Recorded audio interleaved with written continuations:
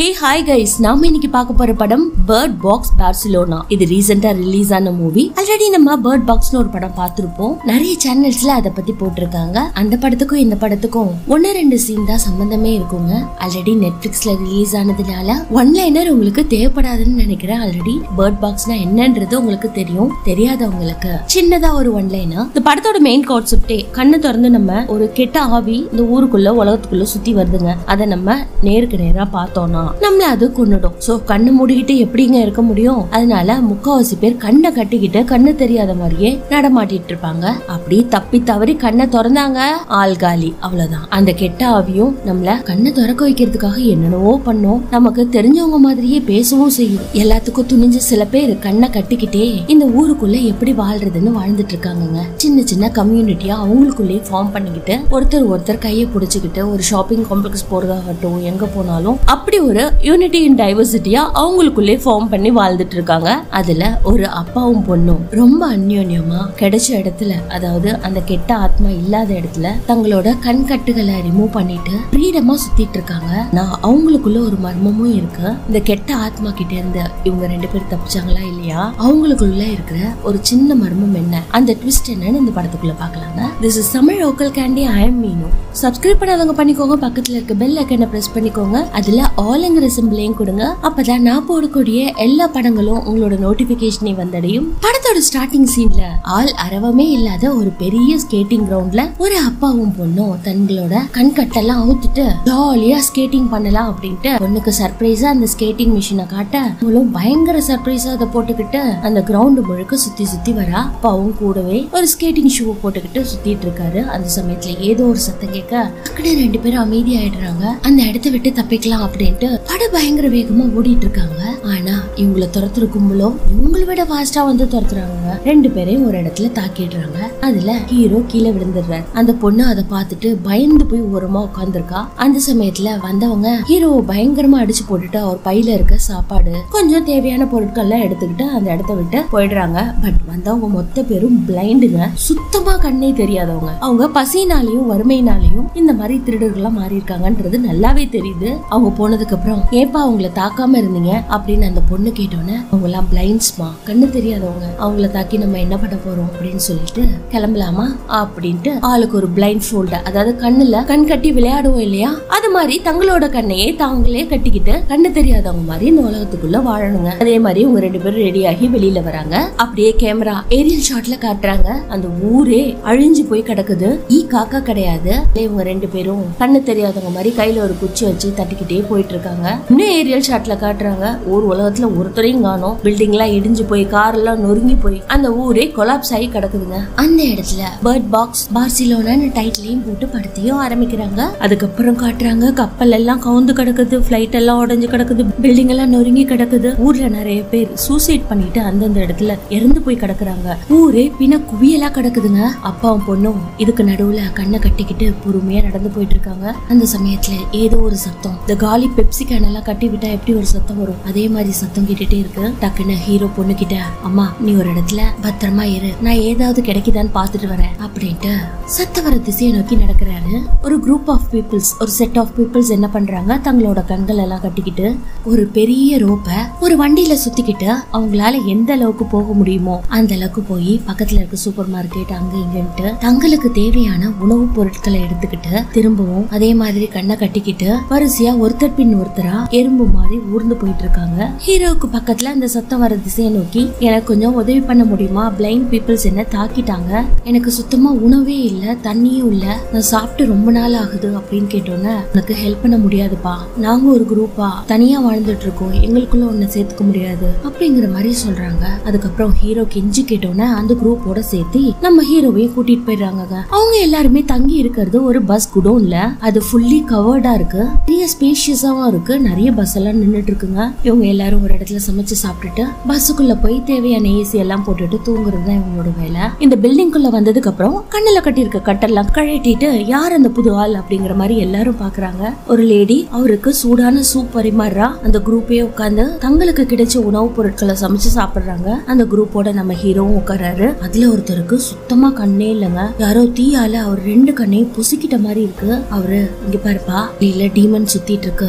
எல்லாருக்கும் தெரிஞ்ச விஷயம் தான் அதுக்காக தான் எல்லாரும் கண்ணை கட்டிக்கிட்டு வாழ்ந்துட்டு இருக்கோம் இது மட்டும் இல்ல இன்னொரு குரூப்பும் சுத்திட்டு இருக்கு டீமன்ஸ்க்கு ஒத்து போற குரூப் அது. அந்த குரூப் கூட என்னைக்குமே நீ சேர்ந்துடாத அந்த கெட்ட ஆத்மாக்கள் இங்க இருக்கிற மக்கள் எல்லாம் கொண்டுட்டு அவங்களோட ஆத்மாக்களை ஸ்பிரிட்டா எடுத்துக்கிட்டு அவங்கள பலப்படுத்திக்கிறாங்க.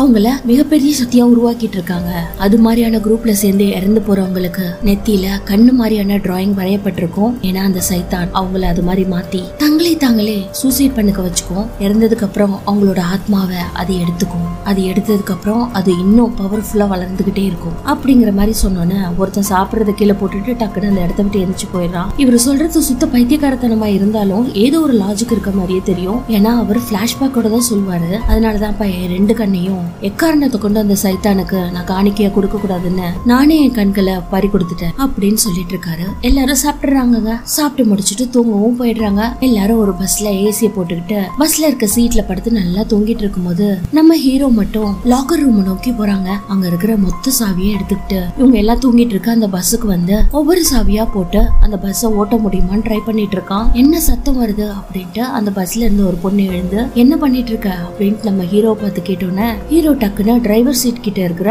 டோரை லாக் பண்ணிடுறாரு. அது ஒரு கண்ணாடி டோருங்கிறதுனால டிரைவர் என்ன பண்ணாலும் நமக்கு தெரியும். சோ நம்ம ஹீரோ ஒவ்வொரு சாவியா போட்டவன் அந்த பஸ்ஸையும் ஸ்டார்ட் பண்ணிடுறாங்க. அப்பதான் அங்க உள்ள இருக்கவங்க உங்களுக்குலாம் புரியுது? வந்திருக்க நம்ம ஹீரோ சாதாரண ஆள் கிடையாது. அந்த டீமன்ல ஒரு ஆளுன்னு நமக்கே இதை பார்த்த உடனே பயங்கர ஷாக்கிங்கா இருக்கும். பஸ் எடுத்த ஹீரோ நேரா வெளியில எடுத்துட்டு போறான். கேட்டை அடிச்சு மோதி பொட்டச்சு திறக்கிறதுக்கு முன்னாடி பஸ்ல இருக்கவங்க எல்லாம் கீழே விழுந்துடுறாங்க. பஸ் கண்ணா பின்னான்னு போதுங்க. பஸ்ல இருக்கவங்க டிரைவர் சீட் கிட்ட இருக்க கண்ணாடியை உடைச்சு நம்ம ஹீரோவை தாக்க வராங்க. அந்த சமயத்துல நம்ம ஹீரோ விடாம பஸ் ஓட்டிட்டு போய் ஒரு இடத்துல அப்செட்டும் பண்ணிடுறாங்க. அப்செட் ஆன பஸ்ல இருந்து ஃபர்ஸ்ட் ஒருத்தர் வெளியில வராரு வெளியில வர சமயத்துல அந்த டீமன் அந்த இடத்துக்கு வருது. அந்த டீமன் அந்த ஈவல் ஸ்பிரிட் அங்க வருதுன்னா கீழே இருக்க கிராவிட்டி அப்படியே ஆப்போசிட்டா மாறுங்க. அதாவது கீழே கிடக்கிற இலைகள் செத்தைகள் குப்பைகள் எல்லாமே மேல பறக்க ஆரம்பிக்கும். அதுதான் அது வரதுக்கான சிம்பலே அது நம்ம கண்ணுக்கு தெரியாது பட் அது வந்து நின்னுச்சுன்னா அதை நம்ம பார்த்துட்டோம்னா நம்ம கண்ணு அப்படியே பூனை கண்ணை மாதிரி மாறிடும். அந்த ஈவலுக்காக நம்ம உயிரை நம்மளே எடுத்துப்போம். அந்த அளவுக்கு ஒரு பேட் ஓமன் அதை. அவரோட கண்ணும் அதே மாதிரி பூனை கண்ணு மாதிரி மாறுது. கிடக்கிற கண்ணாடி துண்டை எடுத்து தன்னோட கழுத்தை தானே அறுத்துக்கிட்டு அதே இடத்துல இறந்து போயிடுறாரு அவரோட ஸ்பிரிட் மேல போகும்போது ஹீரோ அதை சந்தோஷமா பாக்குறான். இந்த மாதிரி இன்னொரு லேடி தவழ்ந்து தவழ்ந்து போயிட்டு இருப்பா அதுக்கு பலத்த அடிபட்டு இருக்கும் நம்ம ஹீரோ அவகிட்ட போய் வாலண்டரியா அவளோட கண்ணை ஓபன் பண்றாரு. எதுக்காக பார்க்க மாட்டேங்கிற இந்த உலகத்தை பார். எவ்வளவு அழகானது இந்த உலகம். ஈவில் ஸ்பிரிட் எல்லாம் ஒண்ணுமே கிடையாது. அப்படின்னு சொல்லிட்டு அந்த லேடியோட கண்ணை ஓபன் பண்ணோன்னு டக்குன்னு அவ தன்னோட குழந்தை சத்தம் கேக்குற மாதிரி அவளுக்கு ஒரு இல்யூஷன் வருதுங்க. அதை நோக்கி அவளும் நடந்து போறா. இந்த பஸ்ஸோட வீல் டாப் வீல் பயங்கரமா சுத்திட்டு இருக்கும். ஆல்ரெடி அந்த பஸ் அப்செட் ஆகி கிடக்குது இல்லைங்களா? அந்த வீல் மேல ஏறி மேல சுத்திட்டு இருக்க வீல் கிட்ட தன்னோட முகத்தை வைக்கிறா. அவ்வளவுதாங்க. அந்த லேடியோட கழுத்து அந்த இடத்துலயே முறிஞ்சு கீழே விழுற மாதிரி காட்டுறாங்க. அவளும் அந்த இடத்துல இறந்து போயிடா அவளோட ஸ்பிரிட்டும் மேல போகுது. இன்னொரு பையன் பஸ்ல இருந்து வெளியில வரான். பஸ்ல இருந்து லீக் ஆன பெட்ரோல் எல்லாம் கீழே உழுத்தி கிடக்குது. அந்த பெட்ரோலும் அப்படியே கிராவிட்டினால மேல ஈர்க்கப்பட்டு மேல அப்படியே பறந்து இவன் மேல ஒட்டுது. இவனும் லைட்டர் எடுத்து பத்த வைக்கிறான். மொத்த பஸ்ஸுமே தீ பிடிச்சி திகு திகு திகுன்னு எரியுதுங்க.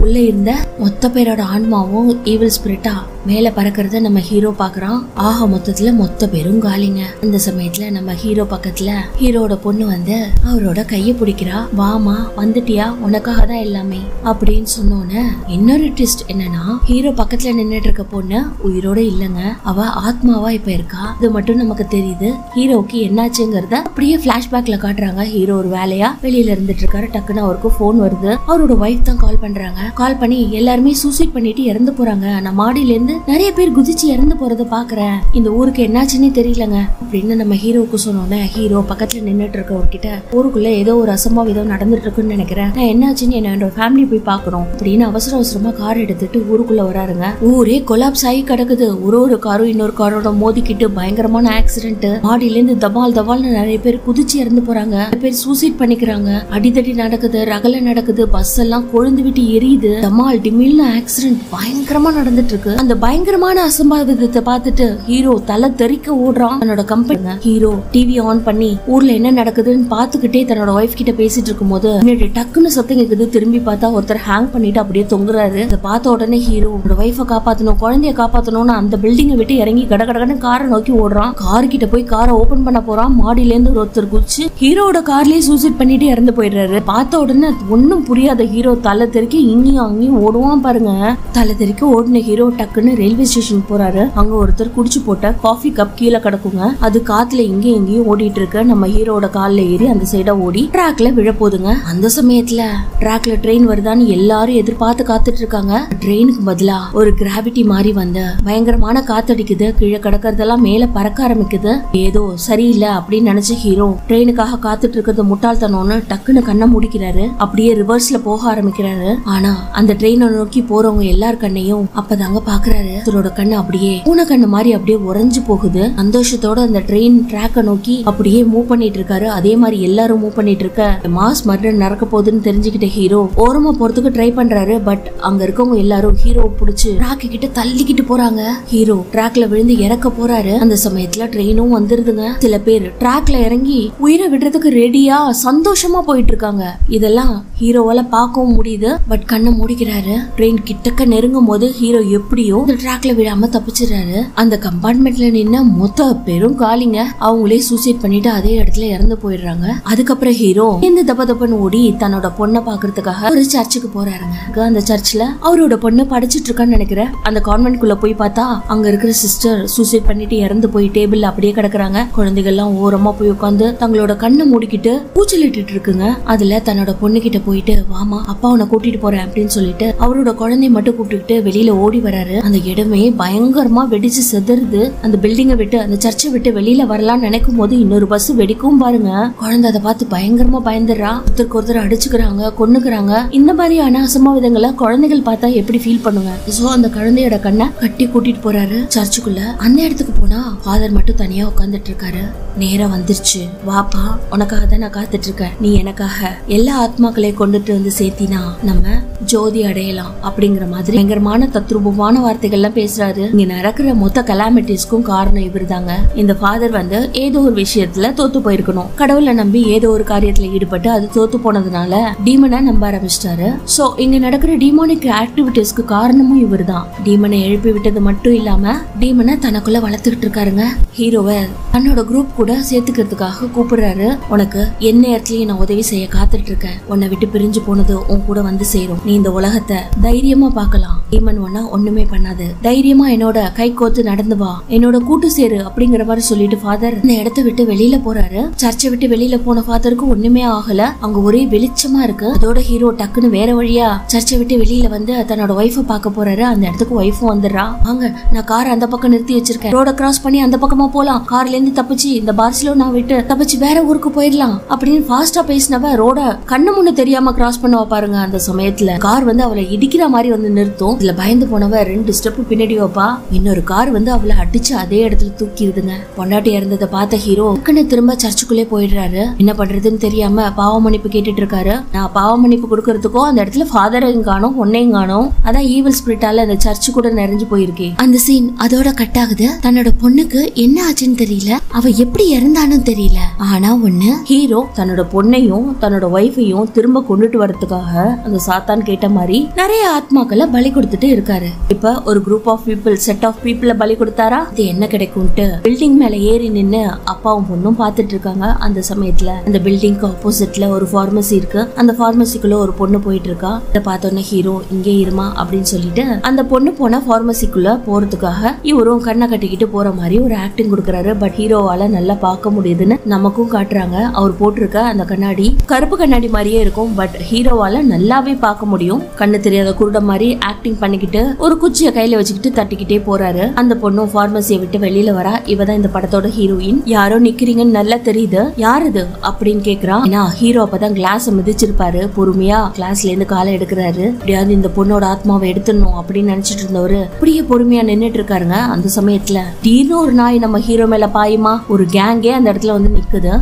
அந்த பொண்ணும் பயப்படாதீங்க பயப்படாதீங்க. நான் உங்களை காப்பாத்துறேன். என்னோட பேர் கிளார். இது என்னோட குரூப் தான். நீங்க பயப்பட வேணாம். நான் உங்களை கூட்டிட்டு போறேன்னு குரூப்ல வீட்டில் இருக்கவங்கலாம் யாரோ தெரியாதவனை எப்படி கூட்டிட்டு போவேன்னு சொல்வேன் அப்படின்னு சொல்றாங்க. அவங்க கூட்டிட்டு வந்த நாய்க்கு கூட கண்ணை கட்டு போட்டு வச்சிருக்காங்க ரெண்டு நாய்கள் இருக்கு. அது மட்டும் இல்லாம எல்லாருமே கண்ணை கட்டிட்டு தான் இருக்காங்க. அந்த இடத்துக்கு திடீர்னு ஈவில் ஸ்பிரிட் வருத அங்க இருக்கவங்க எல்லாம் ஃபீல் பண்ணோன்னே இந்த இடத்துக்கு ஈவில் ஸ்பிரிட் வந்துருச்சு. இந்த இடத்த விட்டு நம்ம ஃபர்ஸ்ட் போகணும். அப்படின்னு ஒருத்தருக்கு ஒருத்தர் சின்ன ஒரு ரோப் மாதிரி கட்டிக்கிட்டு அப்படியே புடிச்சுக்கிட்டு ஒரு மணிக்குண்டை நோக்கி போறாங்கங்க. இந்த இடத்துல தான் அவங்க தங்கியும் இருக்காங்க. அந்த மணிக்குண்டுக்குள்ள போன உடனே கதவை சாத்திட்டு எல்லாரும் கண்கட்டை ஊத்துட்டு நம்ம ஹீரோவை பாக்குறாங்க. வாப்பா உன் கூட யார் யாருமே இல்லையா? சாப்பிட்டியா? அப்படின்னு கூப்பிட்டுட்டு உள்ள போனா அங்க வயசானவர்லாம் உட்காந்துருக்காரு அது மட்டும் இல்ல சோஃபியான்னு ஒரு அழகான குழந்தையும் இருக்குங்க. அது செவுத்துல ஒரு டிராயிங்க வரைஞ்சிட்டு இருக்கு டிராயிங் என்னன்ட்டு நம்ம ஹீரோயின் கிளார் போய் கேட்க அவ என்னமோ சொல்றா பட் ஒண்ணுமே புரியல. கிளார் அவகிட்ட இங்க பாரு உனக்காக என்ன எடுத்துட்டு வந்திருக்கேன்? அப்படின்னு ஒரு சாக்லேட்டை நீட்ட அவளும் சாக்லேட்டா அப்படிங்கிற மாதிரி சாக்லேட்டை சாக்லேட்டான்னு சொல்றா. அந்த குழந்தை பேசுற பாஷை கிளாருக்கு புரியல. அவ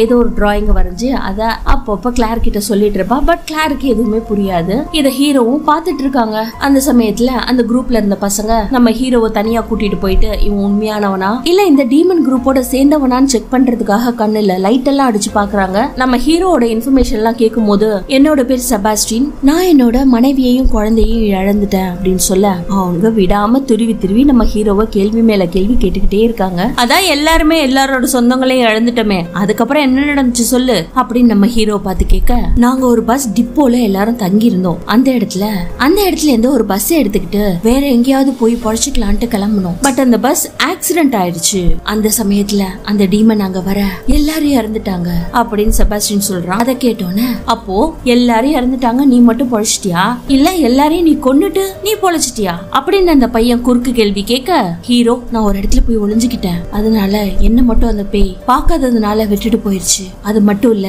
அது ஒரு கொடிய டீமன் வகையை சேர்ந்தது. அது தனக்குள்ள எல்லாரையும் மாத்திக்கிட்டு இருக்கு. அதாவது சில பேர் அதை கூட்டு சேர்த்துக்கிட்டு அந்த டீமனுக்கு சக்தி கிடைக்கணுங்கிறதுனால எல்லாரையும் நரபலி கொடுத்துட்டு இருக்குங்க. இதுதான் வெளியில நடந்துட்டு இருக்க விஷயம். அப்படின்னு நம்ம ஹீரோ சொல்ல அந்த பையன் சுத்தமா நம்பவே இல்ல. இவன் பொய் சொல்றான். இவன் எதையோ மறைக்கிறான். அவன் எல்லாரையும் போட்டு தள்ளுறதுக்கு தான் இவன் வந்திருக்கான்னு நினைக்கிறேன். இவனை யாரும் நம்பாதீங்க அப்படின்னு அந்த பையன் நம்ம ஹீரோவை போட்டு அடிக்க ஹீரோவும் அந்த இடத்த விட்டு எந்திரிச்சு போயிடுறான். இருந்தாலும் அங்க இருக்கவங்களுக்குள்ள கலவரம் மாதிரி ஆயிடுது. ஃபைனலா நம்பணும் நீ சொல்ற கிளாரா நாங்க நம்புறோம். ஆனா இவனால நமக்கு என்ன பிரயோஜனம்? அப்படின்னு கேட்டோன்னே இங்க யாருக்கும் யாரும் பிரயோஜனமா இல்ல. பட் அவருக்கு நம்ம ஹெல்ப் பண்றோம் இல்லையா? அப்படின்னு சொல்லும் போது ஹீரோவோட பொண்ணு ஹீரோட கண்ணுக்கு மட்டும் தெரியறாங்க. அவ வந்து நின்னுக்கிட்டு அரே எப்படியாவது வெளியில கூட்டிட்டு வாங்கப்பா. எல்லாரையும் பலி கொடுத்தாகணும். அம்மாவை என்னையும் மீட்கணும் இல்லையா? அந்த குழந்தைய யூஸ் பண்ணுங்க. அந்த குழந்தைய வச்சு எப்படியாவது வெளியில வரதுக்கு ட்ரை பண்ணுங்க. அப்படின்னு சொல்றத ஹீரோவும் பாக்குறாரு. பட் மத்தவங்க யார் கண்ணுக்கும்? ஹீரோவோட பொண்ணு கண்ணுக்கே தெரியலங்க. ஹீரோவை தாக்குறத பார்த்து அங்க இருந்து சோஃபியான்ற சின்ன குழந்தை அடிக்காதீங்க.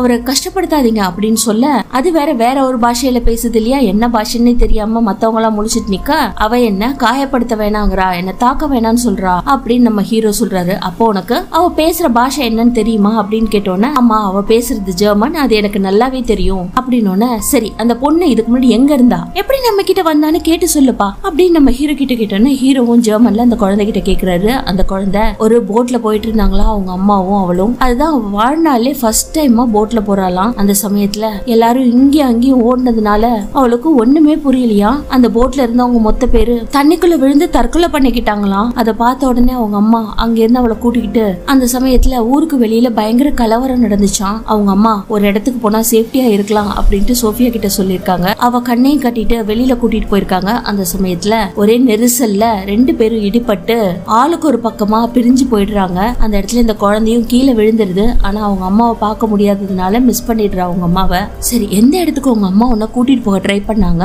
அந்த இடம் சேஃப்டியா இருக்கும்னு சொன்னாங்க இல்லையா? உனக்கு அந்த இடத்த பத்தி தெரியுமா அப்படின்னு கேட்டோன்னே அந்த குழந்தை அந்த டிராயிங்க காட்டுது. திரும்பவும் ஒரு சாக் பீஸ் எடுத்து ஒரு மவுண்டன்ஸ் மாதிரி வரைஞ்சு அதுல ஒரு கேஸ்டல் மாதிரியான இடத்த வரையுதுங்க. இது இந்த பார்சிலோனால இருக்கிற மலைக்கு மேல இருக்க ஒரு கேஸ்டலுக்கு சம்பந்தமான இடம். அந்த இடத்துக்கு போனா நம்ம எந்த ஒரு ஆபத்தும் இல்லாம சந்தோஷமா வாழலாம் அப்படின்னு சொன்னோன்னே பைத்தியக்காரத்தனமா இருக்கு முட்டாள்தனமா இருக்கு. இந்த வீட்டை விட்டு இந்த இடத்த விட்டு நம்ம வெளியில போகணும்னு நினைச்சா நம்ம எல்லாரும் செத்து போயிருவோம். அது மட்டும் இல்ல இவன் ஜென்ரேட்டர் வேற ரெடி பண்ணி வச்சிருக்கிறதா சொல்றான் அந்த இடத்துக்கு போனாலும் நம்ம செத்து போனாலும் போவோம். இவனோட பேச்சுல உண்மை இல்ல அப்படின்ட்டு எல்லாரும் ஆரவாரப்பட்டு இருக்காங்க. அந்த சமயத்துல பெரியவர் மட்டும் நான் எங்கேயும் வரமாட்டேன் அப்படின்னு சொல்றாரு. அதுக்கு அந்த பெரியவரோட ஒய்ஃப் இல்லங்க. நம்ம இங்க இருந்தாலும் செத்து போயிடுவோம். அதே மாதிரி ஹீரோவும் நம்ம இங்க இருந்தாலும் செத்து போயிடுவோம். அதுக்கு பேசாம கஷ்டப்பட்டாவது அந்த இடத்துக்கு போகலாம் அப்படிங்கிற மாதிரி ஒரு முடிவுக்கும் வந்துடுறாங்க ஃபைனலா அன்னைக்கு நைட்டும் போயிடுது. ஹீரோவுக்கு ஏதோ ஒரு ஏஞ்சல் நிழல் வடிவத்துல அவர் முன்னாடி தோன்றுற மாதிரி இருக்கு. அந்த சமயத்துல கனவுல இருந்து எந்துக்கிறாரு அங்க இருக்கிற அந்த பையன் நம்ம ஹீரோவை எழுப்பி தூங்கினதெல்லாம் போதும் நம்ம ஒரு இடத்துக்கு போகலாம்னு முடிவு பண்ணோம் இல்லையா நைட்டு அந்த இடத்துக்கு எல்லாரும் கிளம்பி போகலாம் அப்படின்னு சொல்லிட்டு எல்லாரும் கண்ணை கட்டிக்கிட்டு இன்க்ளூடிங் டாகுக்கு கூட கண்ணெல்லாம் கட்டிட்டு வரிசையா ஒன் பை ஒன்னா போயிட்டு இருக்காங்க. ஒரு போஸ்ட் ஆபீஸ் மாதிரி இருக்குங்க அந்த இடத்துக்கு போயிட்டு. அந்த பார்சிலோனா மலைக்கு மேல இருக்க கேஸ்டலுக்கு எப்படி போறதுன்னு ஒரு மேப்பே எடுத்துக்கிறாங்க. அந்த சமயத்துல நம்ம ஹீரோ தான் போய் எடுக்கிறாரு. அவருக்கு ஒரு பிளாஷ்பேக் பிளாஷ்பேக்கும் ஞாபகத்துக்கு வருது.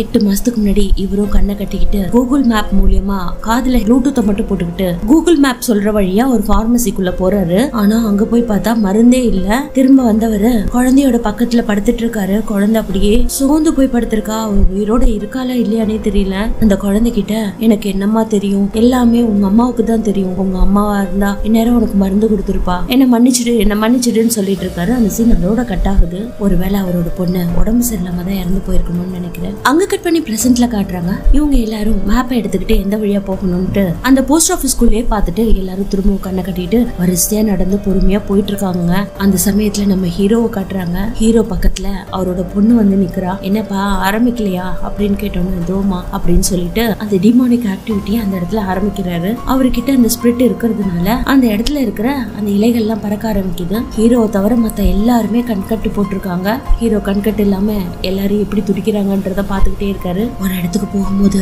அந்த டிமோனிக் ஆக்டிவிட்டி திரும்ப ஸ்டார்ட் ஆகுது. பார்த்தெல்லாம் அப்படியே மேல பறக்குது. மல்பெரி லீவ்ஸ் கீழே கடந்ததெல்லாம் மேல பறக்குது. அந்த சமயத்துல நாய் அதை ஃபீல் பண்ணுது. டாக்ஸ் எப்பயுமே அக்ரெசிவா இருக்கும் இல்லையா? நம்ம ஹீரோ நைட்டே டாக்ஸோட பெல்ட் எல்லாம் கட் பண்ணி வச்சிருப்பான். பாதி கட் பண்ணி வச்சிருப்பாங்க. அந்த டிமானிக் ஆக்டிவிட்டி அங்க இருக்கிறதுனால டாக்ஸ் அதை ஃபீல் பண்ணோன்னே டக்குன்னு கயிறு அறுத்துக்கிட்டு ரெண்டுமே ஓடுது. அந்த இடமே கலோபரமா ஆகுது. ஒவ்வொருத்தருக்கும் தங்களோட நெருங்கி இருக்கிறவங்க அதாவது அந்த குழந்தை சோஃபியா இருக்கா இல்லைங்களா அவங்க அம்மா. இங்கே வாடா செல்லும். அம்மா வந்து பாரு கண்கட்டை அவுத்துட்டு அம்மாவை பாருக்கு அவளும் அவளோட கண்கட்டை ஓப்பன் பண்ணலாம்னு நினைக்கும் போது டக்குன்னு ஒரு பையன் அவளை காப்பாத்திடுறான். காப்பாத்திட்டு கதவு எங்கேயாவது இருக்குதா? வீடு எங்கேயாவது இருக்குதான்ட்டு போறான். ஒரு கதவு தென்பட்டோன்னா அதை உடச்சி உள்ள போகலான்னு ட்ரை பண்றான். அதே மாதிரி அங்க இருக்கிறவங்க ஒவ்வொருத்தவங்களோட நெருங்கினவங்க நெருங்கின சொந்தம் தங்களை கூப்பிடுற மாதிரியே ஒரு இல்யூஷன் வருது. அதனால எல்லாருமே குழம்பி போய் வரிசையா கையை பிடிச்சிட்டு போயிட்டு இருந்தாங்க இல்லைங்களா? அந்த லைனே பிரேக் ஆயிடுதுங்க. டாக்ஸ ரெண்டு பசங்க ஆளுக்கு ஒரு நாயை பிடிச்சிட்டு வருவாங்க. அதுல ஒருத்தன் டாகோட குரல் கேட்டோன்னே எங்க இருக்க எங்க இருக்க? அப்படின்னு சொல்லிட்டு தன்னோட கண்கட்டா அவுத்துறாங்க அவுத்துட்டு அப்படியே தரைய பாக்குறான். மல்பரி லீவ்ஸ் எல்லாம் மேல பறக்குது. அதே சமயத்துல திரும்பி எதையோ ஒன்னத்த பாக்குறான். அவனோட கண் உறைஞ்சு போயிடுது. பக்கத்துல இருக்கிற கார்ல டமால்னு தலையை மோதிக்கிட்டு அதுல இருக்க கண்ணாடியில கழுத்து எடுத்துக்கிறான். அதே இடத்துல அவன் செத்து போயிட்டாங்க. அதை ஃபீல் பண்ண டாக்ஸ் அவன் கிட்ட வருது. ரெண்டு டாக்ஸும் அவன் கிட்டக்கு வந்து அவனை மோப்பு முடிச்சு குழஞ்சிக்கிட்டே இருக்கு. ஒரு டாக் மட்டும் அதோட கண்கட்டை அவுத்துருதுங்க.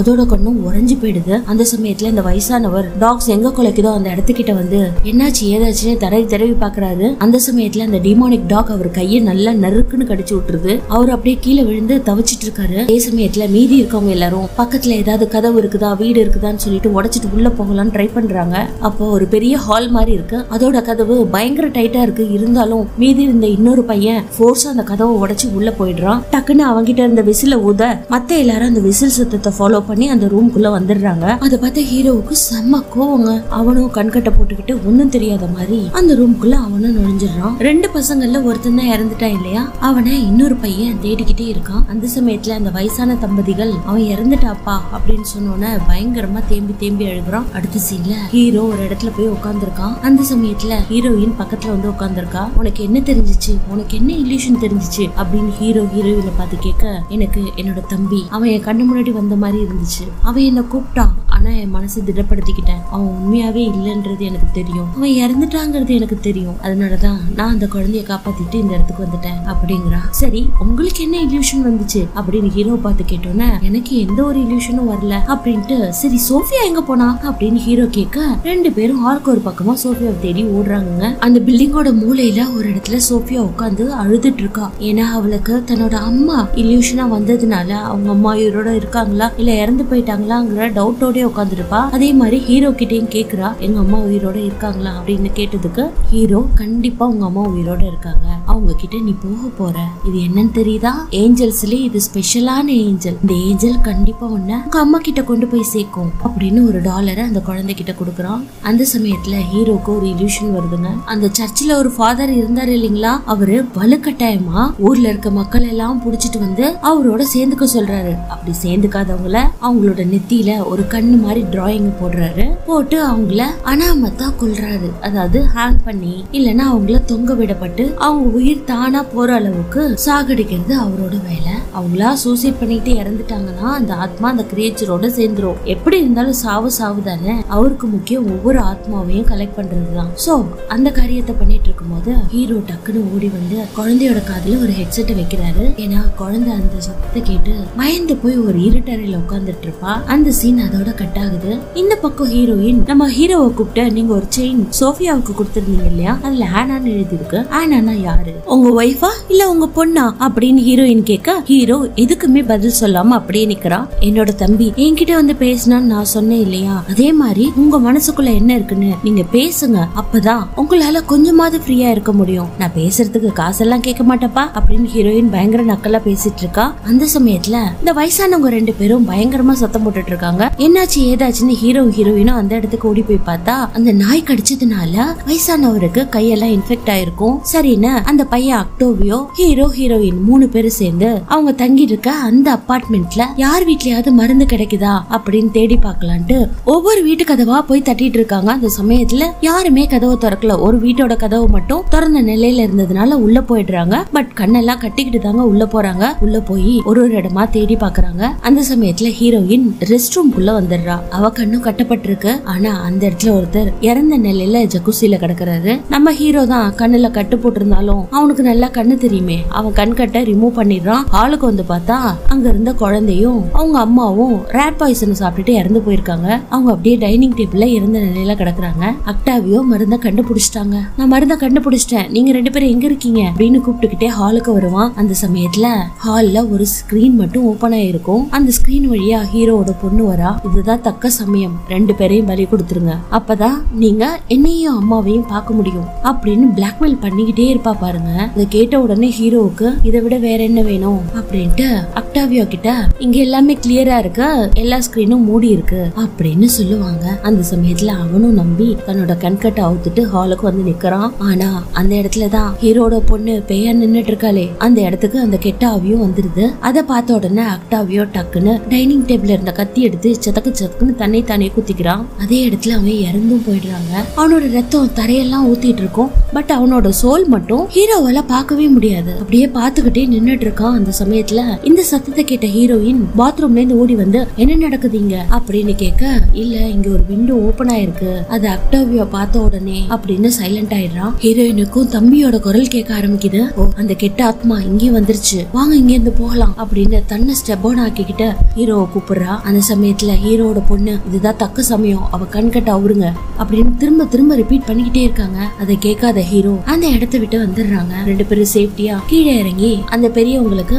ஒரு ஆன்டிபயோட்டிக் மருந்தையும் போட்டுட்டு இருக்கா ஹீரோயின் அந்த சமயத்துல ஹீரோ மட்டும் ஸ்டெப்ஸ் கிட்ட உட்காந்துட்டு இருக்கான். ஆனா ஹீரோ கிட்ட வந்து ஏன்பா கிளாரோட கண்ணை அவுத்து விடல? என்னப்பா நினைச்சிட்டு இருக்கீங்க? அப்படின்னு திரும்ப திரும்ப கேள்வி கேட்டுட்டே இருக்கா. அவகிட்ட நான் அக்டாவியோட சோலை பார்க்கல அப்படின்னு சொன்னோன்னே பா நீங்க கொஞ்சம் கொஞ்சமா நம்பிக்கையை இழந்துட்டு இருக்கீங்க. நம்பிக்கையை இழக்காதீங்க. இங்க இருக்கவங்க எல்லாமே நமக்கு ஆடுகள். அவங்கள எல்லாரையுமே கடவுள்கிட்ட சேர்க்க வேண்டியது நம்மளோட பொறுப்பு. அம்மாவுக்காகவும் எனக்காகவும் எல்லாரையும் சாக்ரிஃபைஸ் பண்ணுங்க அப்படின்னு சொல்றா. அவங்க ரெண்டு பேரும் பேசிட்டு இருக்கிறத சோஃபியா பாத்துடுறா ஹீரோ யார்கிட்ட பேசிட்டு இருக்காருன்னு ஒன்னும் புரியாம அப்படியே பாத்துட்டு இருக்க குழந்தைகிட்ட யார்கிட்டயும் சொல்லாதுன்னு ஹீரோ சைக்க காட்டுறாரு. அடுத்த சீன்ல மீதம் இருக்க அஞ்சு பேரும் கைய கோத்துட்டு வெளியில நடந்து போயிட்டு இருக்காங்க அந்த சமயத்துல அந்த கெட்டவங்களோட பைக் வந்து ஒரு ரோட்ல நிக்குது. அந்த ரோட் கார்னர்ல நிக்கும் போது ஹீரோக்கு நல்லா தெரிஞ்சு போயிடுது. அந்த பைக்கர் இவங்களை வந்து தாக்க போறான்னு தெரிஞ்சு போயிடுது. எல்லாரையும் இன்னொரு ஸ்ட்ரீட் வழியா ஓட சொல்றான். அந்த சமயத்துல கடைசி அந்த தாத்தா ஓடி வந்துட்டு இருப்பாரு. பைக் வந்து வேகமா இடிச்சதுல அவர் கீழே விழுந்துருவாருங்க. ஹீரோ ஹீரோயினும் அந்த குழந்தையும் ஒரு ரூம்குள்ள போயிடுறாங்க. பட் அந்த பெரியவர் விழுந்தோடனே அவரோட ஒய்ஃப் அவரை தூக்கி கைத்தாங்களா புடிச்சிட்டு இருக்காங்க. அந்த சமயத்துல இல்ல இதுக்கு மேல என்னால ஓட முடியாது. என் கால் உடஞ்சு போச்சு. நமக்கு நேரம் வந்துருச்சுன்னு நினைக்கிறேன். அப்படின்ட்டு அந்த பாட்டி மாவும் சொல்ல எனக்கு கடைசியா உன்னை ஒரு தடவை பார்க்கணும் போல இருக்கு. அப்படின்ட்டு அந்த பெரியவங்க ரெண்டு பேரும் கண்கட்டா ஊத்துட்டு ஒருத்தர் ஒருத்தர் பாத்துக்கிட்டு இருக்காங்க. அந்த சமயத்துல அந்த பைக்கர் கீழே இறங்கி நடந்து வரான். அவன் அந்த சாத்தான்களோட ஆளுங்க. அந்த சமயத்துல இந்த பக்கம் காட்டுறாங்க. ஹீரோயினுக்கு ஹீரோ மேல டவுட் வந்தது. எப்படி அந்த பைக்கர் இந்த சைடு தான் நிக்கிறான்னு நீ கரெக்டா சொன்ன? அப்படின்னு அவனோட கண்கட்டை எடுத்து டக்குன்னு பாக்குறா. அது விசிபிளா இருக்கு. அப்போ உன்னால பார்க்க முடியும். நீயும் அவங்கள ஒரு ஆள் தானே? அப்படின்னு ஹீரோவை நம்பாம அவனை தள்ளிட்டு குழந்தைய கூப்பிட்டுக்கிட்டு மாடிக்கு போறா. அந்த சமயத்துல ஹீரோவும் பின்னாடி துரத்துக்கிட்டே வராங்க. என்ன நம்பு என்ன நம்பு? உங்க ரெண்டு பேரும் நான் கண்டிப்பா காப்பாத்துவேன். அப்படின்னு சொல்லிட்டு பின்னாடியே ஃபாலோ பண்ணிட்டு ஓடி வரான். இவங்க ரெண்டு பேரும் மாடிக்கு ஓடி போயிடுறாங்க. அந்த இடத்துல இங்க பாரு சோஃபியா உன் கூட நான் கடைசி வரைக்கும் உங்க அம்மா கிட்ட சேர்க்கிற வரைக்கும் நான் இருப்பேன் அப்படின்னு கிளார் ப்ராமிஸ் பண்றா. இனிமே யாரையுமே நம்பாத என் கூட மட்டும் வா. இந்தா கண்ணை கட்டிக்கோ. உன் மாடியில இப்ப போக போறோம் அப்படின்னு சொல்லிட்டு மாடியில நடந்து போறாங்க. அந்த சமயத்துல ஒரு ஆண்டனா அவங்க முன்னாடி வந்து விழுதுங்க. அதை எடுத்துக்கிட்டு குச்சி மாதிரி தட்டிக்கிட்டே அந்த மாடியோட எண்டுக்கு போறாங்க. அதுவோ சின்ன எண்டு கைப்பொடி கூட இல்லாத மாடிங்க அது. அந்த இடத்துல இருந்து கீழே விழுந்தா ஸ்ட்ரெயிட்டா மரணம் தான் அந்த இடத்துல கிளார் தடுமாறி நிக்கிறா. ஹீரோவும் மேல வந்துடுறான். என்ன நம்பு கிளார் என்ன நம்பு கிளார்னு எவ்வளவு சொல்லி பாக்குறான் அவ கேக்குற மாதிரியே இல்ல. அவங்க ரெண்டு பேருக்குள்ள நடந்த வாக்குவாதத்துல கிளார் மேல இருந்து கீழே விழுந்துடுறா. பட் அவ விழுந்தது அந்த பில்டிங்க ரெனோவேஷன் பண்றதுக்காக கட்டியிருந்த பலகையில விழுந்துடுறாங்க. அதே சமயத்துல குழந்தை மட்டும் மேல இருக்கா. ஆனாவும் அந்த இடத்துக்கு வந்துடுறா. அப்பா எப்படியாவது இந்த பொண்ணோட கட்டை அவுத்துருங்க அப்படின்னு சொன்னோன்னே ஹீரோவும் அவுக்க போறாங்க. நான் உனக்கு மனசே வரல. இந்த குழந்தையோட கட்டை அவுக்க போகும்போது அவனோட தலையில இருந்து ரத்தம் வருது. அப்பா இந்த உலகத்துல நானும் அம்மாவும் மட்டும்தானே முக்கியம் உங்களுக்கு அதை விட எனக்கு வேற என்னமா வேணும் அப்படின்ட்டு ஹீரோ திரும்பவும் சோஃபியோட கண்கட்டை அவுக்க போறான் அந்த சமயத்துல. நீங்க யார்கிட்ட பேசிட்டு இருக்கீங்க? ஆனா கிட்ட பேசிட்டு இருக்கீங்களா? உங்க பொண்ணு கிட்ட பேசிட்டு இருக்கீங்களான்னு சோஃபியா கேட்டோன்னே ஹீரோவுக்கு டக்குன்னு மனசு மாறிடுது. அவளை கட்டி அணைச்சுக்கிட்டு என்ன மன்னிச்சிடுமா? ஐ எம் வெரி சாரி அப்படின்ட்டு சோஃபியா கிட்ட சொல்ல பக்கத்துல இருந்த ஆனாவுக்கு பட்டு கோவம். பா அவ உங்க பொண்ணு கிடையாது. நான் தான் உங்க பொண்ணு அப்படின்ட்டு பயங்கரமா கோவப்படுறா. அதே சமயத்துல கிளாருக்கு இந்த பக்கம் முழிப்பு வந்தது சோஃபியா சோஃபியான்னு கூப்பிடும் போது பத்திரமா தான் இருக்கேன். என் கூட செபாஸ்டியனும் இருக்காரு அப்படின்னு சொன்னோன்னா என்ன நம்ப கிளார் என்ன நம்ப கிளார் கண்டிப்பா உன்னை கொண்டு போய் விட்டுறேன் அப்படின்னு சொன்னோன்னா அவன் நம்ப மறுக்கிறா. அந்த நேரத்துல கீழே இருக்கிற கிளார டக்குன்னு மேல தூக்கிடுறான். அவளும் மாடிக்கு வந்துடுறா. பட் செபாஸ்டியனா நம்ப மறுக்கிறா. அந்த சமயத்துல அவன் உண்மையை ஒத்துக்கிறான். ஆமா நீ யார் ஆனான்னு கேட்டல. அவ என்னோட பொண்ணுதான். அவளை மீட்கிறதுக்காக அந்த டெவில்ஸ் என்ன நிறைய பலி கொடுக்க சொன்னுச்சு அப்படின்னு ஒத்துக்கிறான். பட் உங்க ரெண்டு பேரையும் நானு எக்காரணத்தை கொண்டு கொல்ல மாட்டேன். என்ன நம்ப அப்படின்னு சொன்னோன்னா டக்குன்னு அவ சோஃபியாவை பிடிச்சிக்கிட்டு மாடிப்படி வழியா கீழே இறங்க பாக்குறா. அதே சமயத்துல அந்த இடத்துக்கு ஃபாதர் அவரோட ஆளுங்க எல்லாருமே வந்துடுறாங்க. அதை மேல இருந்து கீழே பார்த்து செபாஸ்டின் அவங்க எல்லாம் வந்துட்டாங்க கண்கட்டை போட்டுக்கோங்க அப்படின்னு சொல்லிட்டு பொறுமையா அவங்கள மாடிக்கு கூட்டிட்டு போறான். மாடிக்கு கூட்டிட்டு போகும்போது அந்த வெளிச்சத்தை பார்த்துட்டு கீழே இருக்கவங்க அவங்க மாடியில தான் இருக்காங்க அப்படின்ட்டு எல்லாரும் தப தப தபன் மாடிக்கு ஏறி வராங்க. அதே சமயத்துல கிளார் எந்த இடத்துல விழுந்து கிடந்தாலும் அந்த இடத்துக்கு மூணு பேர் இறங்கிடுறாங்க. பொறுமையா தட்டு தடு மாதிரி நடந்து போயிட்டு இருக்காங்க. அந்த சமயத்துல அந்த சாத்தான் கும்பல்ல இருந்த ஒரு லேடி மட்டும் எங்க அங்க நடந்து போறீங்க? இன்னும் கொஞ்சம் தவறி விழுந்தீங்களா? மேலே இருந்து கீழே பரலோகத்துக்கு போய் சேர்ந்துருவீங்க. அந்த பலகையில அவளும் குதிச்சு சோஃபியாவோட கண்ணை அவுக்க பாக்குறாங்க. அந்த சமயத்துல ஹீரோ தடுக்க ரெண்டு பேருக்கும் பயங்கர ஃபைட் ஆயிடுது. ஓ உனக்கு கண்ணு தெரியும். கண்ணு தெரிஞ்சு எங்க கம்யூனிட்டில சேர்ந்துட்டு அதுக்கப்புறம் எங்களையே நெக்லெக்ட் பண்றியா? அப்படின்னு சொல்லிட்டு அவன் கண்ணை நொல்லையாக்க பாக்குறா. ரெண்டு பேருக்கும் நடந்த ஃபைட்ல அவளை புடிச்சு மேல இருந்து கீழே தள்ளி விட்டுறான். அவளும் இறந்து போயிடுறாங்க. அதுக்கு அடுத்த சீன்ல தப்பிச்சு போகலாம் ட்ரை பண்ணும்போது விடாம இந்த ஃபாதர் கும்பல் துரத்துக்கிட்டே இருக்கும். இவங்க ஒரு ரோப் கார் மாதிரி இருக்கும். அந்த மலைக்கு போறதுக்கு ரோப் கார் மூலியமா தான் போவாங்க. சோ அந்த இடத்துக்கு போகணும்னா ஸ்டெப்ஸ் வழியா மேலே ஏறி போகணும். அந்த இடத்துக்கிட்ட நெருங்கும் போது எல்லாருமே கிட்டக்க வருவாங்க. இல்லை டக்குன்னு அங்க ஒரு கார் இருக்குங்க. அதுல இருக்கிற பெட்ரோல் டேங்க்ல நெருப்ப வச்சுட்டு இவங்களை கூட்டிட்டு கொஞ்ச தூரம் விலகி நிப்பான். சாத்தானோட ஆட்கள் கிட்டக்க வரும்போது கார் வெடிச்சு எல்லாரும் செதறி போயிடுறானுங்க. அதை பார்த்துட்டு இருந்த ஃபாதருக்கும் ஆனாவுக்கும் பட்டு கோமாயிடுது. ரெண்டு பேரும் கிட்டக்க நெருங்கிட்டு இருக்காங்க. அதே சமயத்துல ஹீரோ என்னால உங்களை வந்து காப்பாத்த முடியாது. ரெண்டு பேரும் மேல ஏறி அந்த ரோப் கார் போகுது இல்லையா? அது வழியா தப்பிச்சு அந்த மலைக்கு போயிடுங்க. நான் இவங்களை இங்க இருந்து சமாளிச்சுக்கிறேன் அப்படின்ட்டு அவங்க ரெண்டு பேரையும் மேல அனுப்பி வச்சுட்டு பாதரை இந்த பக்கம் பேசியே சமாளிச்சிட்டு இருக்கான். அந்த சமயத்துல மேல தப தப தபன்னு படியில ஏறுவாங்க இல்லையா? சோஃபியா டக்குன்னு படி வழியா கேப் வழியா கீழே விழுந்துடுறா. யார் எப்படியோ கைய புடிச்சு சோஃபியாவை மேல காப்பாத்தி நான் இனிமே உன்னை விடவே மாட்டேமா கைவிடவே மாட்டேமான்ட்டு மேல கூட்டிட்டு போறா. மேல கூட்டிட்டு போனா அங்க ஒரு லீவர் இருக்குங்க. அதை ஆன் பண்ணாதான் ரோப் கார் மூவ் ஆகும். ஆன் பண்ணி ஆன் பண்ணி பாக்குறா மூவே ஆக மாட்டேங்குது. ஃபைனலா மேல ஒரு பெல் இருக்கு. அந்த பெல் அடிச்சா கண்டிப்பா அந்த பக்கத்துல இருக்கவங்க மலையில இருக்கவங்க ரோப் காரை அனுப்புறதுக்கு வாய்ப்பு இருக்கு இல்லையா? அதனால பெல்ல கட கட கடன்னு அடிக்கிறா. அந்த சத்தத்தை கேட்ட ஃபாதருக்கு உஷாராயிடுறான். மேல ரெண்டு பேர் இருக்காங்கங்கிறத புரிஞ்சுக்கிறான். டக்குன்னு அந்த பேட் ஓமன் மேல ஏறி வருதுங்க. இந்த பக்கம் ஆனா நெருப்புலயே நடந்து கார் மேல ஏறி அவங்க அப்பா கிட்ட நடந்து வரா. ஹீரோ அதை பார்த்துட்டு இருந்து நீ உண்மை இல்ல. நீ என்னோட பொண்ணு கிடையாது. என்னோட பொண்ணு இறந்துட்டா. அப்படின்னு சொல்லிட்டு பக்கத்துல இருக்க ஒரு பெரிய இரும்பு ராட் எடுத்து தன்னோட பொண்ணுன்னு கூட பார்க்க பார்க்காம ஒரே சொருவு சொருவ அந்த நேரத்துல பொண்ணு உருவத்துல இருந்த ஃபாதர் நிக்கிறாரு.